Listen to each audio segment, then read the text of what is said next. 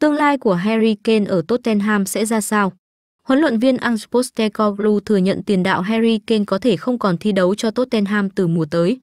Tôi không thể đảm bảo về tương lai của Kane và cũng không mong đợi bất kỳ sự đảm bảo nào, bởi những vấn đề như thế này không bao giờ có thể được giải quyết nhanh chóng. Postecoglou nói ngày 10 tháng 7 trong buổi họp báo đầu tiên với tư cách huấn luyện viên Tottenham. Postecoglou cùng Celtic giành cú ăn ba mùa trước gồm giải ngoại hạng Scotland, cúp quốc gia và cúp liên đoàn Scotland. Ông được Tottenham bổ nhiệm theo bản hợp đồng 4 năm trong hè này. Thay vì quá lo lắng về tương lai của một cầu thủ, huấn luyện viên Australia xác định sẽ tập trung xây dựng đội ngũ mạnh mẽ và xem đây mới là chìa khóa hướng tới thành công cùng Tottenham. Điều quan trọng trong dự án dài hạn không chỉ là các cá nhân, mà là triết lý về việc chúng ta muốn thi đấu thế nào với tư cách là tập thể và những người chủ chốt trong đó, ông nói. Harry Kane hiện giữ kỷ lục ghi bàn của Tottenham và là biểu tượng của đội. Nhưng anh chỉ còn hợp đồng đến hè 2024 và được cho muốn chuyển tới Bayern. Theo Sky Sport, Hum Xám đã gửi đề nghị thứ hai trị giá 90 triệu đô la Mỹ cùng phụ phí, nhưng Tottenham tiếp tục từ chối, khẳng định sẽ không bán can với bất kỳ giá nào. Man United và Chelsea cũng được cho muốn ký hợp đồng với tiền đạo 29 tuổi.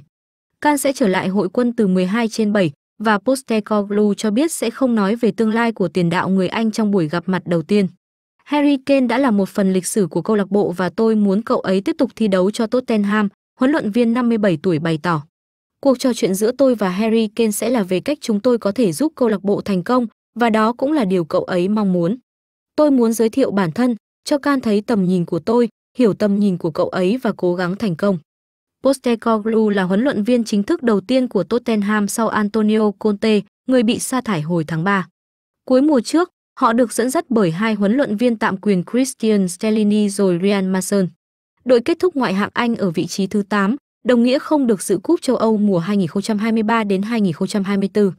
Theo Postecoglou, thăng trầm luôn xảy ra trong bóng đá và ông không ngại thử thách ở London. Tôi muốn mang lại thành công cho Tottenham, huấn luyện viên này nhấn mạnh. Tôi luôn tiếp quản các câu lạc bộ sau khi họ trải qua một hoặc nhiều mùa thất vọng. Điều tôi trân trọng nhất là tạo ra thứ gì đó trường tồn và được nhớ đến khi kết thúc nhiệm kỳ. Tình thế Tottenham đang gặp phải lúc này là động lực của tôi. Hè này, Tottenham đã tuyển mộ tiền vệ James Madison với giá 51 triệu đô la Mỹ từ Leicester và thủ môn Guglielmo Vicario với phí chuyển nhượng 21 triệu đô la Mỹ từ Empoli. Ngoài ra, Tottenham cũng mua đứt tiền vệ Pedro Porro và Dijan Kulapevski sau một mùa giải. Ngược lại, họ bán tiền vệ Harry Wing cho Leicester. Các bạn xem thấy hay nhớ đăng ký kênh và đừng quên để lại bình luận nhé.